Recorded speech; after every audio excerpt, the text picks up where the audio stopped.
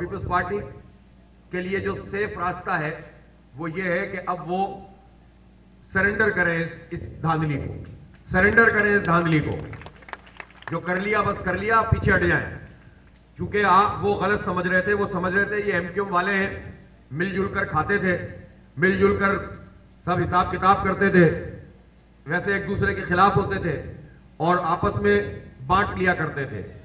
इल्ज़ाम तराशियाँ हो और उसके बाद मिल बांट कर खाना शुरू कर दो और लोगों का हक न लो, इसकी उनको आदत पड़ी हुई थी। और उन्हें मालूम था, वो ये समझ रहे थे कि इस दफ़ा भी ऐसा होगा, शुरू में लोग शोर मचाएँगे। पहले तो हम फॉर्म 11 12 में ही इनमें अच्छे खासे लुड़का देंगे, फिर उसके बाद नतीजों में इधर उधर कर देंगे, फिर रिकाउंटिंग में कर देंगे, कुछ इलेक्शन कमीशन और ट्रिब्यूनल में कोई गया, वहाँ से उल्टा सीधा कर देंगे। और इस तरह जो है, हम वो अपना ख्वाब पूरा कर लेंगे, जो हमने अपने चेयरमैन को सुनाया है या दिखाया है। और बादशाह सलामत ने भी इस फरमाइश का इजहार किया है कि कराची में जियाला मेहर आना चाहिए। तो जो दरबारी थे, उन्होंने कहा कि बादशाह सलामत, क्या आपका इरशाद है? इंशाल्लाह पूरा कर देंगे। लेकिन उनको अंदाज़ा नहीं था कि इस मरतबा उनका वास्ता जमात इस्लामी से पड़ेगा। और जमात इस्लामी के किसी भी, जमात इस्लामी के किसी लीडर, किसी रहनुमा, किसी जिम्मेदार, किसी कारकुन, किसी चेयरमैन, वाइस चेयरमैन और किसी काउंसलर का जाति कोई मकसद नहीं है। कोई एक पाई का भी रवादार नहीं है। उसको इंशाला इंशाला अल्लाह की जात पर भरोसा करके और अपने कारकुनों पर एतमाद करके कहता हूँ कि इसकी कीमत नहीं लग सकती, इसको खरीदा नहीं जा सकता और ये अपना ख्वाब कभी पूरा नहीं कर सकेंगे। तुम मैंडेट दोगे तो उसके नतीजे में बात आगे बढ़ेगी। वरना जब तक नतीजा नहीं दोगे तो हम तुम्हारा नाटका बंद कर देंगे। पूरे शहर में नहीं, पूरे पाकिस्तान में, पूरी दुनिया में तुम किसी को मुँह दिखाने के काबिल नहीं रहोगे। या जा जाकर जो तुम अपना इमेज बनाने की कोशिश कर रहे हो ना कि देखो मैं आइंदा वज़ीर आज़म भी बन सकता हूँ।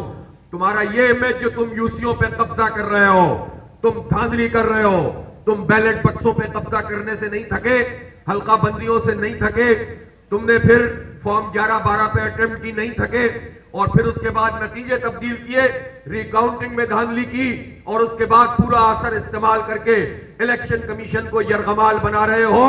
इस तरह तुम्हारा इमेज ये इमेज तुम्हारा पूरी दुनिया के सामने आएगा और पूरी दुनिया तुम पर इतनी लान तान करेगी कि फिर तुम्हें सरेंडर करना पड़ेगा। पीपल्स पार्टी के लोगों से कहता हूँ पीपल्स पार्टी के पॉलिटिकल वर्कर्स से कहता हूँ, हर पार्टी में अच्छे बुरे लोग होते हैं। कि प्रेशर डालें अपनी क्यादत पर। उनसे कहो कि इस रास्ते को छोड़ दो। वो जो चंद लोग हैं जिन्होंने अपने चेयरमैन को सुहाने ख्वाब दिखाए हैं, ये पॉलिटिकल वर्कर कराची को जानते हैं, कराची के मिजाज को जानते हैं, जमात इस्लामी को जानते हैं, उसकी स्ट्रेंथ को जानते हैं, इस शहर के आवाम को जानते हैं। तो जो बाजमीर पीपल्स पार्टी के कारकुन हैं या कोई जिम्मेदार हैं, उनको चाहिए कि अपनी पार्टी को हकायक बताएँ और ये कहे कि वो पीछे हट जाए, वरना आवाम का सैलाब उन्हें बहा कर ले जाएगा।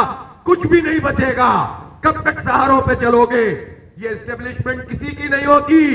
कब तक उसके सहारे पे चलेगी ये पीपल्स पार्टी कब तक उसके सहारे पर खड़ी होगी ये पीपल्स पार्टी जिस दिन उन्होंने अपना सहारा हटाया, कुछ नहीं है तुम्हारे पास ग्राउंड पर। इसलिए तुम्हारे लिए अकलमंदी का रास्ता यही है कि आवाम का हक मत मारो कराची के लोगों का हक मत मारो, जमात इस्लामी की यूसीओ पे कब्जा मत करो, बल्कि किसी की यूसी पे कब्जा ना करो, बल्कि जिसका जो जेनवन मैंडेट है उसको वापस करो। इनशाला हम यहाँ पर अभी मौजूद हैं, हम मुशावरत कर रहे हैं।